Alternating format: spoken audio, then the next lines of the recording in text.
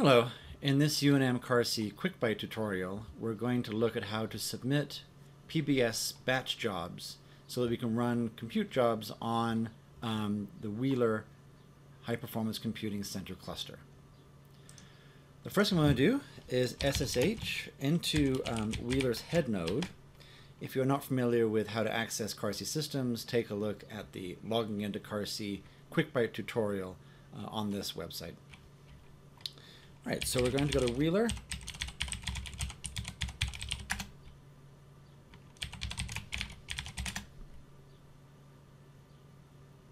And I'm now logged into what's called the head node. Let's take a minute to talk about the structure of a high-performance computing center cluster. Um, they consist of one or more head nodes where you log in. That's where you can um, look at your files, where you can compile programs, where you can edit programs with, pro with editors like Emacs, uh, whatever you'd like to use. It's for um, tasks that are not computationally intensive. The cluster, uh, in addition to the one or more head nodes, will have many compute nodes. Those compute nodes are dedicated to computation. So um, on Wheeler, there are, uh, if I type the command qgrok, see that there are currently um, 300 compute nodes with a total of 2,400 cores available for computation. And we've divided those um, nodes up into two parts. There's the default queue, where um, you can submit jobs that are regular compute jobs. And there's a debug queue. This debug queue is used for um, running code to see uh, that's in development to see if it's working correctly um, before you're ready to run it on the default queue. so one of the things you'll notice is that there are 34 free nodes right now. That means there are 34 compute nodes that you can use for running your jobs. Um, each of these compute nodes on Wheeler has eight CPUs and 48 gigabytes of RAM. So each of these compute nodes is already um, has more resources than a typical laptop or desktop, but you get to use many of them all together. For this tutorial, um, we're going to load some files that I've already prepared um, to save on, on typing. Um, so we're going to type the following command. To type git clone um, so this is a, uh, a tool for storing software um, in a central location so we can just pull that software and take a look at it and look at some of the things you'll need to do. All right, so it's going to be HTTPS um, Git. That's UNM's Git repository. unm.edu. CarC workshops.git. All right, so when you um, run that command, it'll create a new directory called workshops. I already have that directory here. and inside that directory um, is the intro to intro workshop here, which has several pieces. It has some programs for us to run as examples. Of course, you'll run your own um, programs that you're interested in for your research. But just for examples, we have um, two Python programs. All they do is calculate pi. We have a data directory that um, has data that we might use for our programs. And we have a PBS directory. This PBS directory contains examples of PBS scripts that you'll be using to submit jobs on Wheeler. PBS stands for Portable Batch Script. If you've ever done any shell programming, you'll see that these PBS scripts are really just shell scripts. All right, we'll get into that in a minute here. But first, let's just talk about um, how you access the compute nodes you'd like to run your jobs on. So as I said before, we're on the Wheeler head node. Uh, it works the same for the Xena cluster, the Taos cluster. Um, so the head node is where you log in. To get access to a compute node, I'm going to type qsub, that stands for queue submission. I'm going to type dash I for interactive. And I'm going to hit enter. And this submits a request to the job scheduler for a compute node. I've been assigned a compute node now. I've been assigned Wheeler 278. So it's one of those 300 nodes that I showed you a second ago. And I now have exclusive access to this compute node. Um, nothing else is running on it. I can check that by running top here, and I can see that nothing else is running. and I can now run, out, run whatever programs I want. So in previous tutorials, I've shown you how to um, load things like um, the R environment,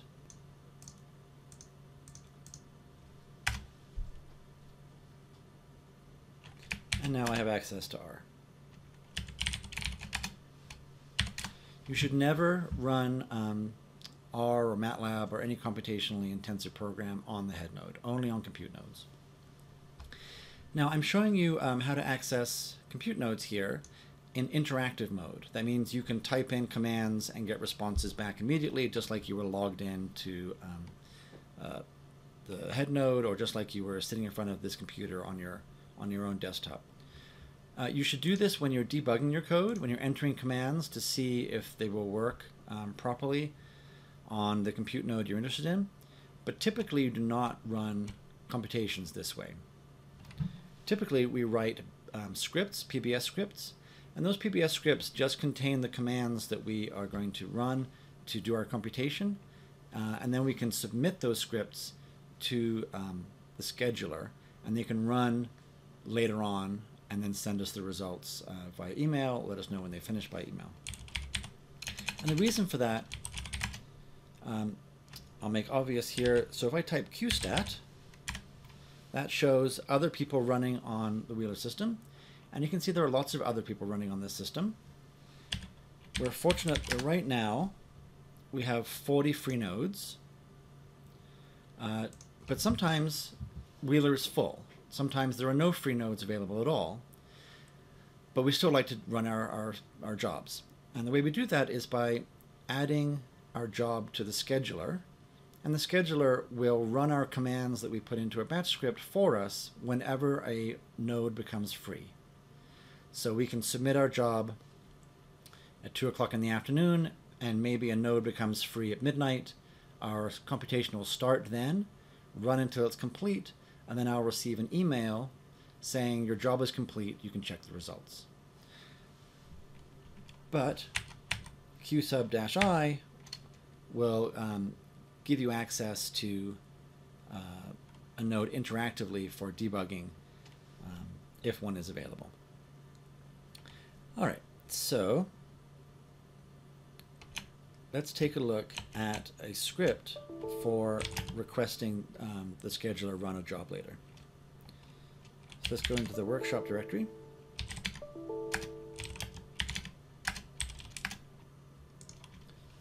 Let's take a look at um, the workshop examples.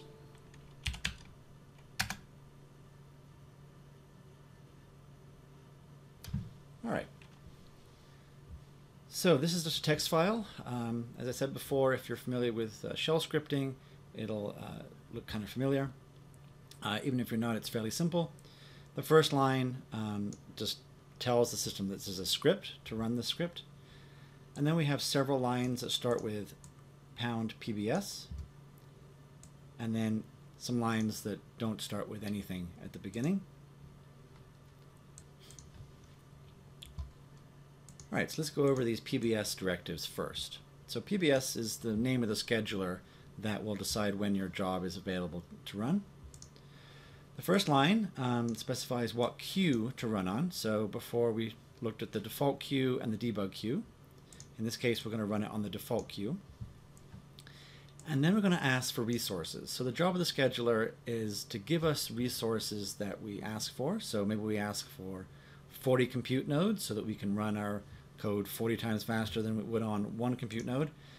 Um, in this example, we're just going to ask for two compute nodes, so two computers, each of which is going to have eight cores. So we're going to ask for eight cores on two nodes. We could ask for one core on two nodes if we like, um, but in this case, we're going to ask for two compute nodes and eight cores on each of those. Then we're going to specify the amount of wall time that we want. So wall time is specified in uh, days, hours, minutes, and seconds. So in this case, we're going to ask for five minutes of time. And that's how much time we are requesting on the cluster.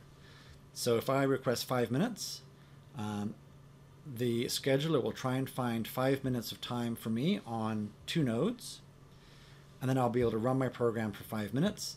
After five minutes, I lose access to those nodes, and whatever I was running stops.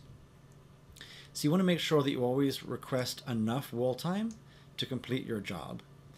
There are limits on um, how much time you can request. So Wheeler is one of our community uh, community clusters that many people can use for free. Um, and we want to make sure that the resources are shared fairly. So the maximum amount of time that you can request on Wheeler is 48 hours.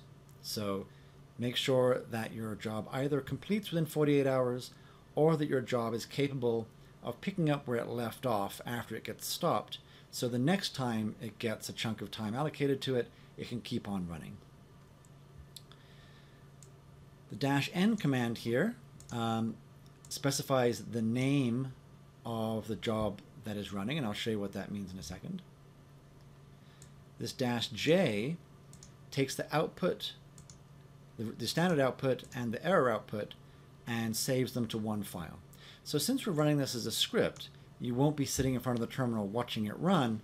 Um, it's going to run maybe when you're not there, and it's going to email you when it's done. And we want to tell it to save the output, that is, whatever would have been written to screen that you would have been reading had you been sitting in front of the, in front of the machine. It's going to save that output to a file so that you can look at that file once the job is done. And that file will contain information about um, the compute nodes that the job ran on, how long it ran for, if there were any error messages that you should look at. Next, we have two dash m arguments, a lowercase m and a capital M. The uppercase m specifies where to email um, notices about your job. So if I want to know when the job starts or finishes or if it, if it um, crashed for some reason, I specify the email address here. And the small m specifies what kind of notices we want to receive. So B stands for begin, so I get an email when the job begins. A stands for abort, so if the job ended um, for some unusual reason, like it crashed, there'll be an abort message. And E for if the job ended normally. So that means the program just finished, you ran out of time, uh, it ends normally and emails you to tell you that. So this section is just about talking to the scheduler asking for resources, setting up where you want to receive information, um, and things like the name of your job. Everything that comes after that uh, is a regular script, a regular shell script. And a shell script is just where you could enter whatever commands you would normally enter uh, in the terminal. You can write them down here, one after the other, and it will execute them um, for you. So these commands will get executed for you when you get allocated your compute nodes uh, which enables you to put in all the commands that you, you want to get your, your job running. So for example, in this really simple case, we're just going to use the echo command that just prints something, and we're going to echo the name of the compute node that we're running on. But normally, of course, this would have something like MATLAB and the name of a MATLAB program, or R, the name of an R program, and then, or you know, some other piece of software like um, MolPro or Gaussian or Orca, anything you want to run here, you would type the commands uh, in this script right here. All right, so we have this very simple example script. Let's go ahead and run it.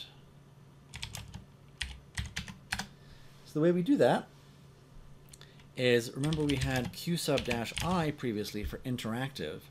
We're going to re remove the dash i, and so we're going to submit this PBS script. So all we have to do is type q sub and the name of the script that we want to run. Hit enter. we immediately get back a job ID. This is the identifier for the job that will be scheduled. Now, um, if I type qgrok again, oops, we see there are plenty of nodes free. This is a very simple job, so it will already have completed.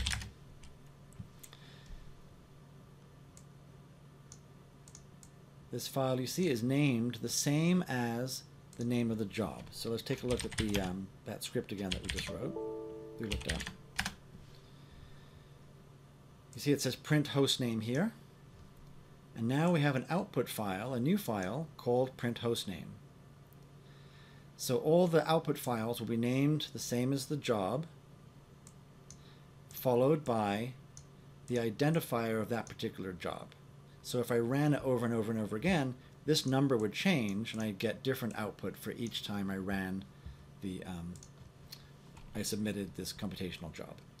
All right, so I'm going to type cat here, which is just a way of visualizing text files, and the name of the output file and here's what it contains. So this section here is the preamble. This gives me information about the job. So it tells me the job ID, it tells me um, what nodes it was running on. So in this case, we're on nodes 219 and 217. And then um, that's the end of the prologue. This script was running on Wheeler 219. And then here's the actual output of that last command we had.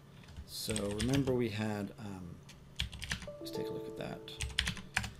We had echo hostname. The output of echo hostname is just Wheeler 219. All it does is print the name of the compute node it was running on. And then that's the end of our output. Now, keep in mind that for whatever program you're running, it may have its own output files that could be written this is just what would have appeared on your screen had you been running interactively.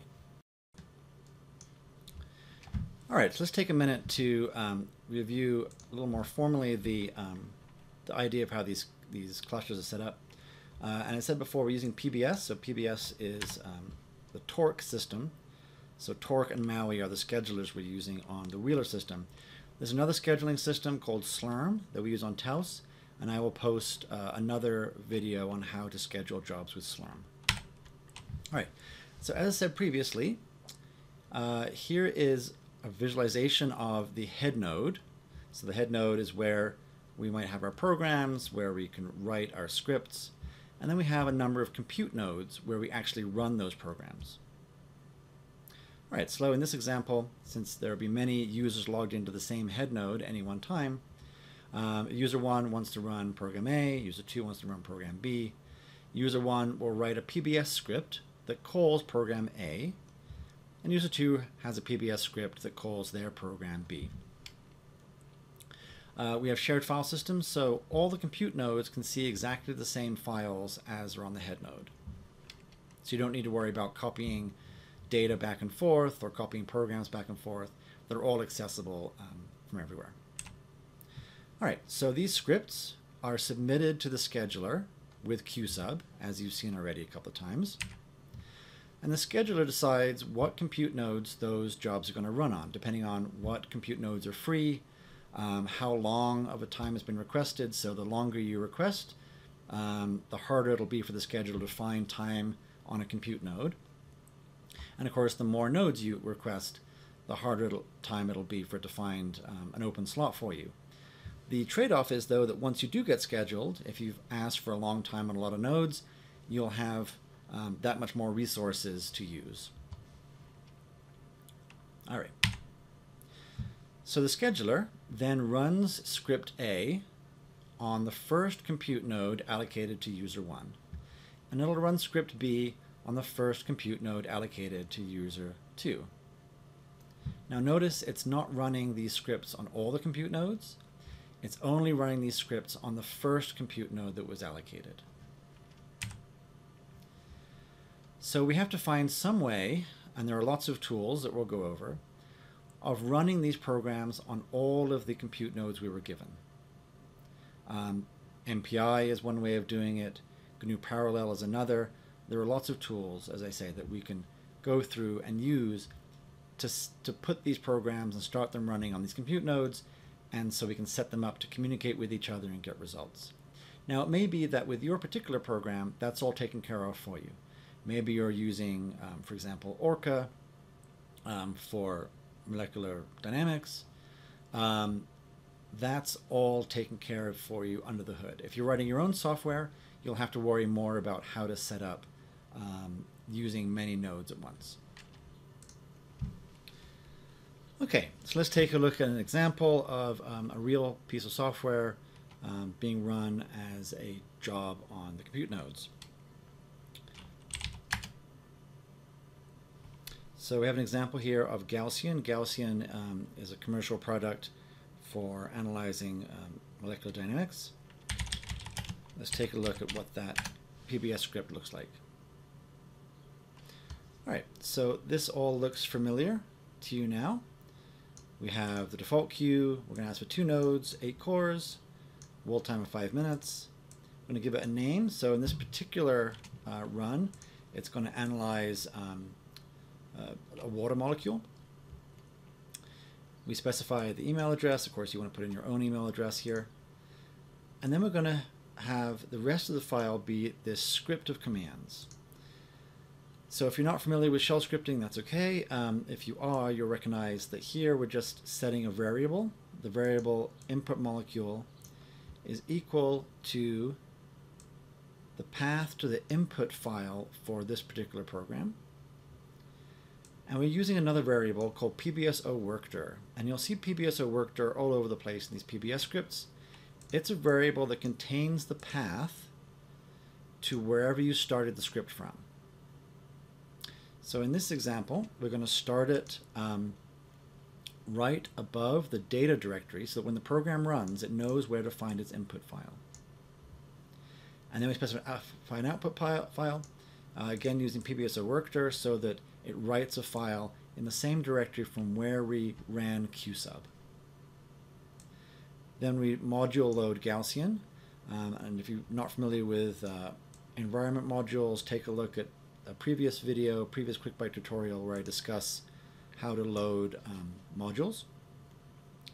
Once we've done that, we get access to this G09 Gaussian um, command, which then reads the input variable that is, it looks for the path to this water molecule and then writes the output to h2o.log.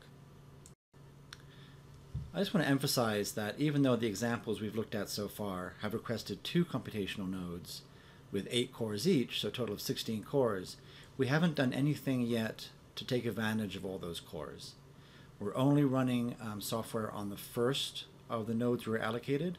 We'll have to do a little bit more work that we'll cover in future QuickByte um, tutorials on how to allocate uh, our programs to all those compute nodes that we were given.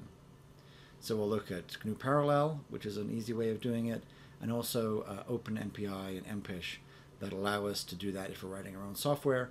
And even for this example with Gaussian, we're going to have to give it a little bit more information um, before it's able to use all those cores that we've been allocated and really take advantage of the resources that are available. Right.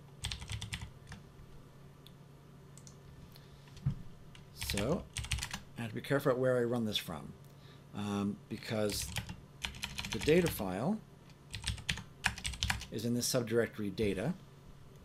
There it is, H2O GJF. We can take a look at that. And again, this is you know, probably very few of you are actually running Gaussian, but this is just an example of how you'd run something um, using this script. Your programs, of course, will be different.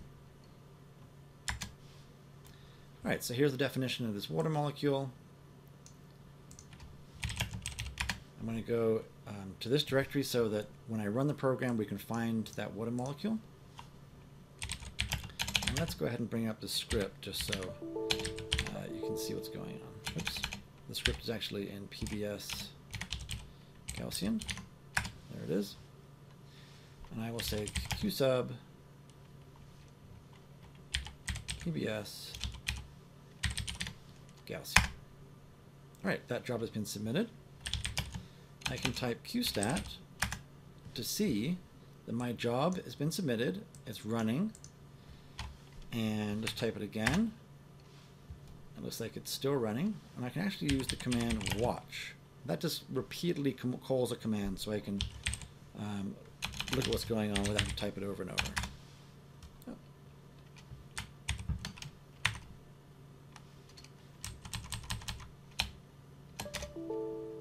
And it looks like that job is finished. And I know that it's finished because here is the um, output file we talked about earlier that shows whatever's printed on the terminal. And here is the h2o.log file that we specified as the output. So let's take a look at the output file first to see if there were any errors or warning messages.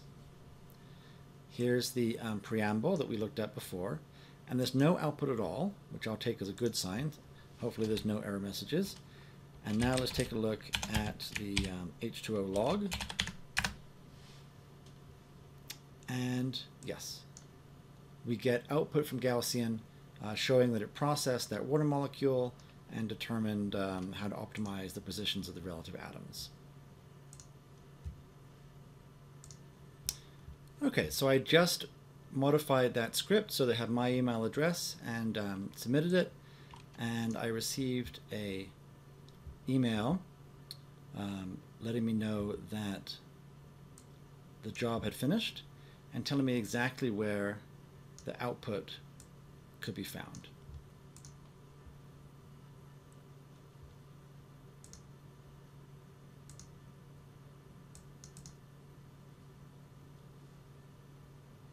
I also received an email showing um, when the job started.